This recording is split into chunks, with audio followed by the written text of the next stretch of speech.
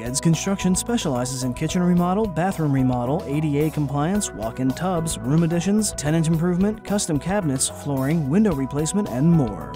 Call Guedes Construction at 760 295 3036.